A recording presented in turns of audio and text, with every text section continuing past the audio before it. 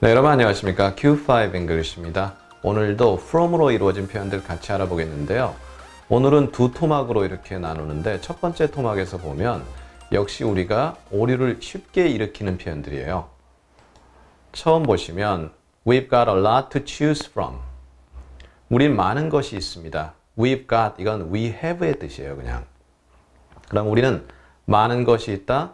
To choose 여기까지 쓰는 경우가 대단히 많습니다. 선택할 것. 그런데 선택을 하게 되면 우리가 여기저기서 뽑아내는 선택의 어떤 기준점이 있죠. 거기로부터 뽑아내기 때문에 영어는 choose from을 써야 돼요. 근데 choose만 쓰고 마침표 찍는 오류를 많이 범하죠. from까지 써야 됩니다. I'll pick it up from the dry cleaners. dry cleaner는요. 그 보통 끝에 s, apostrophe s를 꼭 붙이셔야 되는데 세탁소죠. 나 그것을 pick up, 이럴 때 pick up은 찾아오겠다는 뜻이에요. 집어들다가 아닌 거죠. 최근에 우리가 up으로 된 시리즈 계속 다뤄봤지만 여기서 pick up은 찾아오는 겁니다. 내가 맡긴 것을. 내가 어디에 맡길 때는요. drop off라 그래요. 그리고 나서 그걸 찾아오죠. pick it up, pick up인데요. 세탁소에서 그러니까 s를 쓸것 같지만 세탁소에서 물건을 찾아서 그 물건을 집으로 가져오죠. 그럼 세탁소가 출발점이 돼요. 영어적으로는 그런 거죠. 이것도 역시 오류가 많은 표현입니다. 세 번째는요. A mobile is hanging from the ceiling. mobile이라고 읽어도 되고 사실은 mobile이라고 읽어야 더 정확하죠. 왜? 이거 핸드폰이 아니라요. 그 미술의 조형물 있죠. 모빌이에요. 그것이 ceiling 한 벼, 어, 천장이죠. 천장에서 천장에 매달려 있다 이런 식의 매달려 있다인데요.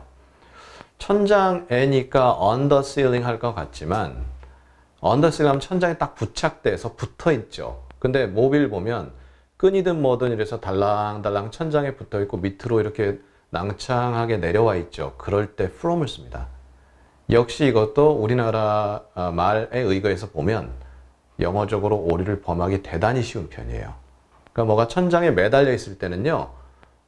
hang from입니다. on이나 이런 거 아니죠. 자, 그 다음 보시면요. She is drinking wine from my cup. 역시 이것도 오류가 우리나라 개념으로 많이 틀리는데요. 자, 그 여자는 와인을 마시고 있어요. 근데 그 와인을 마시는 게 자기 컵이 아니라 내 컵에서 마신다는 얘기죠. 그래서 제 컵이 있고 그 사람 컵이 있다고 치면 물론 이제 와인이니까 어떤 분이 이 글래스로 해야 되지 않냐. 네, 그렇게 하셔도 돼요. 상관없어요. 뭐 컵에 따라 먹어도 상관없으니까. 컵이 있죠. 거기로부터 액체를 마시죠. 그러면 액체가 담겨 있는 곳이 출발점이 컵이죠. 영어로는 그 뜻이에요. from the cup입니다. 그러니까 예를 들어서 꼭 뭐 이런 거 안 해도 되고요. I'm drinking water from the bowl. 그릇에서 마신다. 이런 식으로 영어적으로는 from을 쓰셔야 되는 거죠. 역시 우리가 오류를 많이 범합니다. 자, 그 다음에요. I sometimes buy wine from the corner shop 했는데요. 이 corner shop은 이제 모퉁이에 있는 가게 그런 뜻인가 봐요. 그럼 모퉁이의 가게가 하나 있는데 거기서 때로 와인을 구매한다. 역시 우리말로 모퉁이 가게에서 이렇게 되니까 s를 쓸 것 같지만 가게에서 물건을 사죠. 그리고 물건을 집에 가져오죠. 아까 그 세탁소에서 물건을 집어서 찾아서 집으로 가져오죠. 같은 개념으로 보시면 돼요. 그러니까 거기로부터 물건 사서 집으로 가져온다. 영어로는 그런 느낌이 전달되는 거죠. 지금 첫 번째로 소개한 이 다섯 개의 문장은 지난번 from to의 문장과 마찬가지로 우리말에 입각해서 이 영작을 하시거나 말을 하시면 많은 오류를 발생하거든요. 계속 한번 영어적 느낌으로 반복해 보시고요. 그 다음에 이런 문장도 한번 보시죠. What makes you different from anyone else? 무엇이 너를 make 사람 형용사죠. 다르게 만드느냐? 다르다라는 것은 그 사람과 차별성이 주어지죠. 구별점이 주어지죠.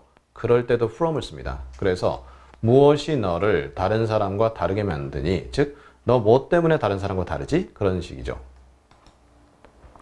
Can you tell a Korean from a Japanese? 했죠. 이때 tell은 말하다가 아니라 구분하다라는 뜻이 있어요. 방금 말씀드린 대로 구분을 할 때는 거리감이 생기기 때문에 from을 쓰는 거죠. 그래서 한국인과 일본인을 구분할 수 있겠니? 그래서 이때 구분하다는 말은 좀 어렵게 distinguish 구분하다란 역시 표현이고요. 좀 어렵죠?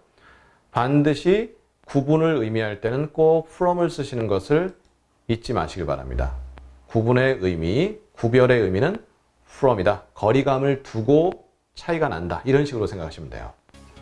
자, 그럼 그래서 오늘도 여러분과 함께 from의 의미를 같이 자세히 나눠봤고요. 다음 시간에도 우리 from으로 이루어진 표현 여러 가지를 여러분과 같이 자세히 공유하겠습니다. 감사합니다.